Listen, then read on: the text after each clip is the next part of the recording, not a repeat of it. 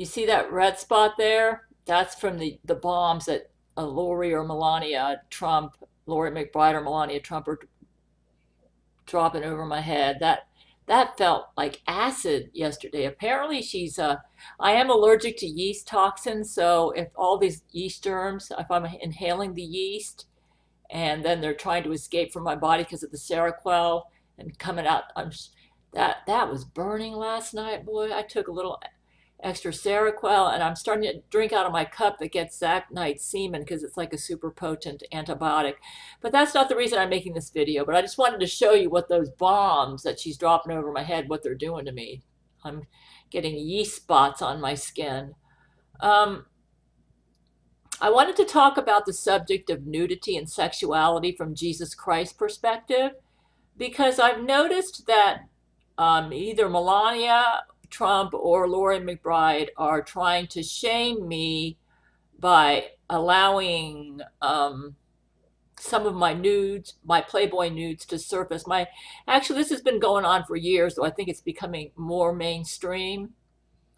And I just wanted to let you know that it was actually Jesus Christ himself who convinced me that it was okay to pose for Playboy. Um, Jesus Christ showed up to explain to us uh, what to what explain what happened to Hugh Hefner when he died. Actually, Hugh Hefner was going to give a, me and Brent his Playboy mansion.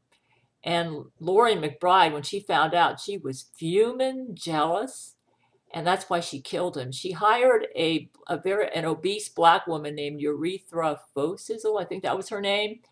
And Urethra was going to do a apparently Hugh Hefner liked to have uh, black women um, some erotic asphyxiation thing he liked to do where he would almost you know quit breathing and then that's how he would get an erection and all this stuff. I'm not into this but apparently he was into it. It's cool with jesus.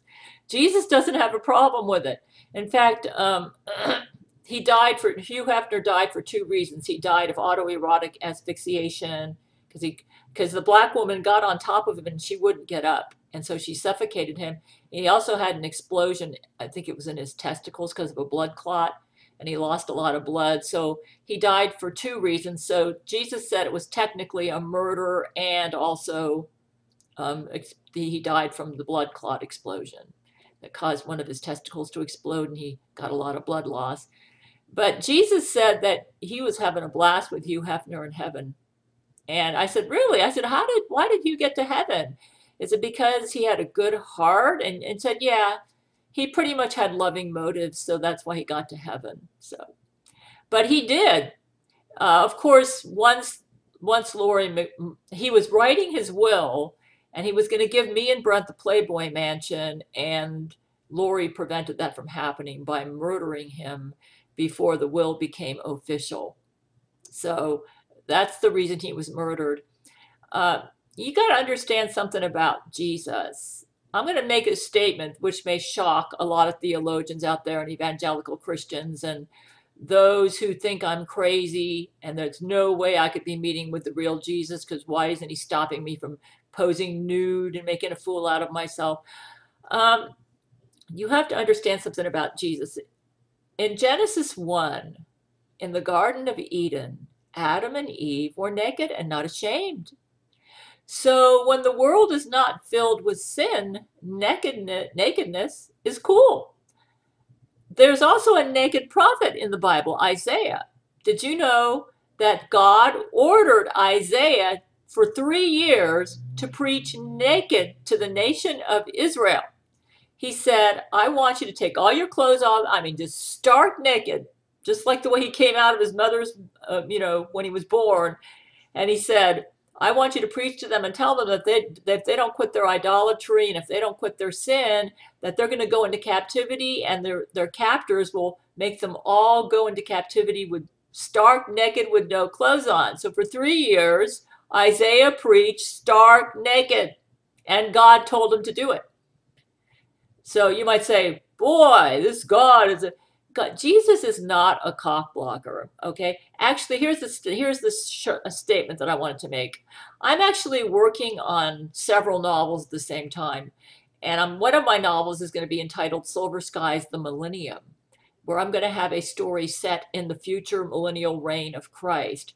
And I've been doing research for this, and I've come to the conclusion that in Okay, right now we are in pre tribulation earth. We're very close to the seven year tribulation. The next major event's the rapture, the rapture of the church. Then we have the seven year tribulation. At the end of the seven year tribulation, the Antichrist and the false prophet, who I suspect may be Laurie McBride, Angelina, ballerina, transgender men. Um, man will be destroyed and thrown into the lake of fire. Satan will be put into the bottomless pit for a thousand years and then Jesus is going to reign for a thousand years. This is the premillennial dispensational view, which is the correct view, by the way. If you study the Bible and believe what you read and don't spiritualize the text, the only time you should think something's a metaphor in Scripture is when the Bible says it's a metaphor.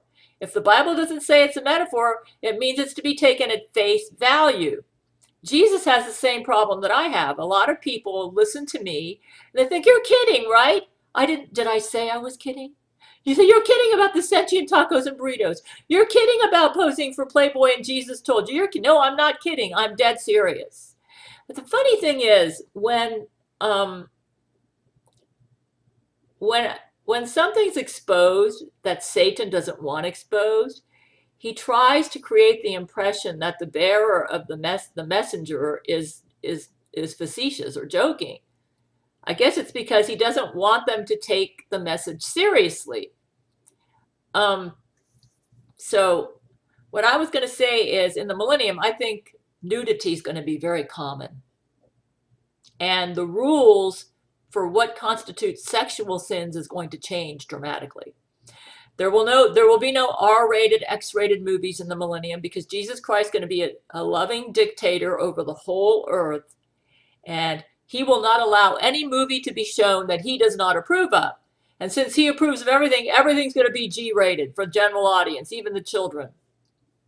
I believe nudity is going to be rampant in the millennium. A lot of theologians correctly believe that the millennium is going to be Genesis 1 over the whole earth. Just like the it'll be Garden of Eden over the whole earth. In fact, I think there are a lot of verses that support that in the Bible. In the Garden of Eden, Adam and Eve were naked and not ashamed. In fact, Jesus told, told us that he cried when he handed them their clothes. They sinned when they were teenagers. That's what he said.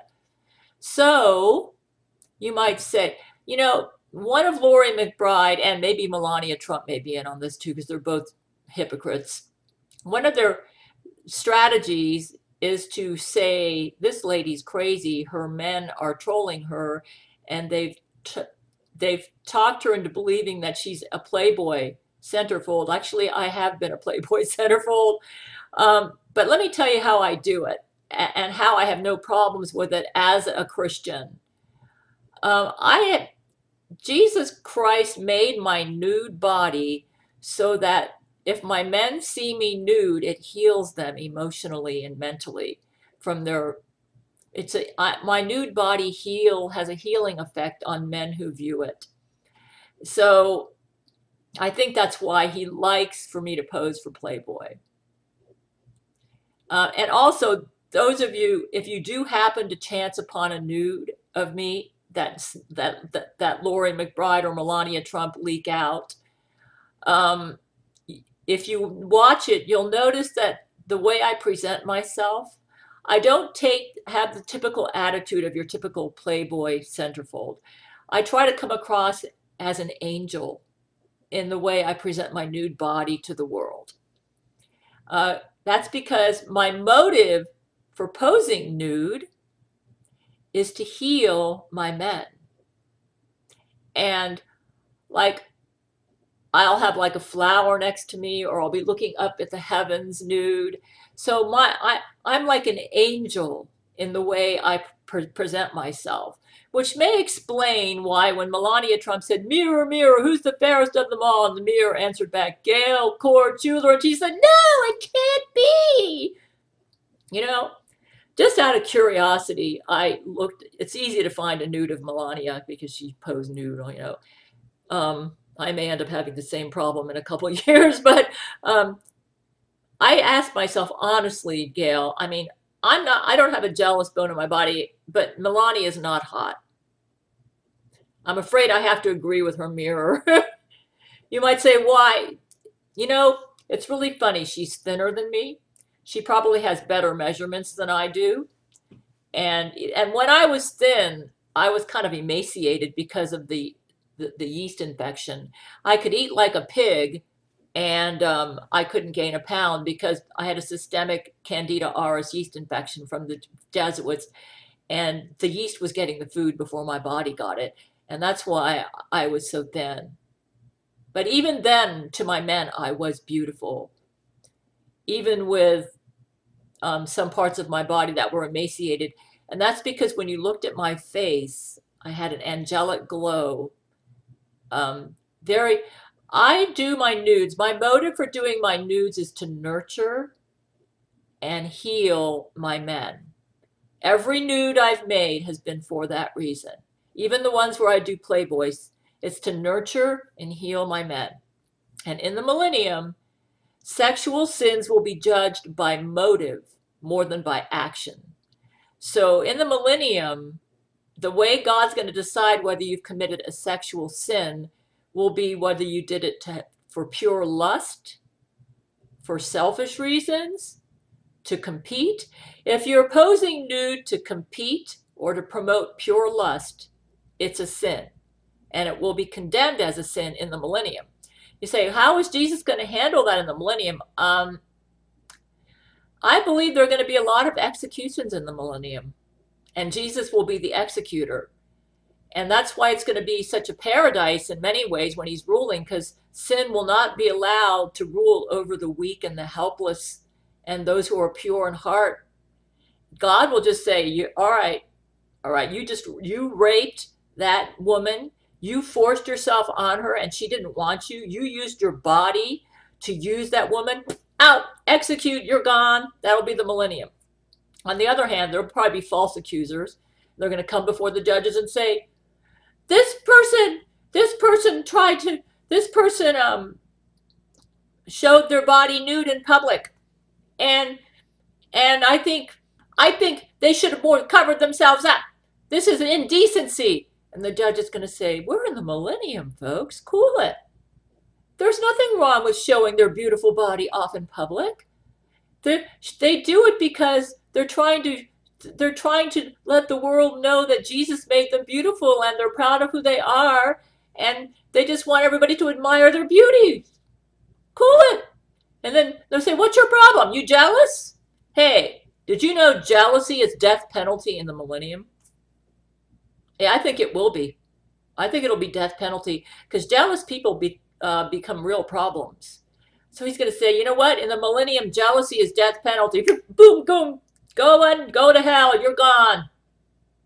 You said, You really think so?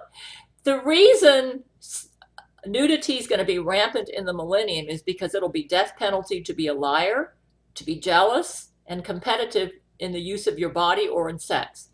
And if you use your body for jealousy, competition, or to make somebody who's truly beautiful look ugly, you know, by, uh, let's say you, uh, I think you will be executed in the millennium. So the reason Jesus approves of my nudity and the way I pose for Playboy is because he knows my motives are to nurture and to love.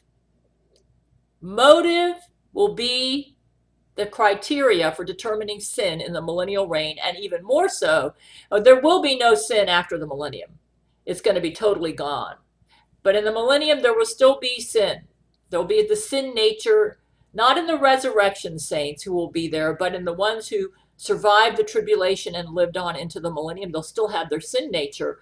And sin will be determined by motive.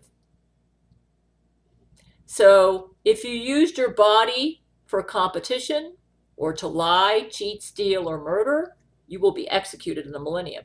If you use your body just to show off Jesus' beautiful creation, it'll be cool with Jesus.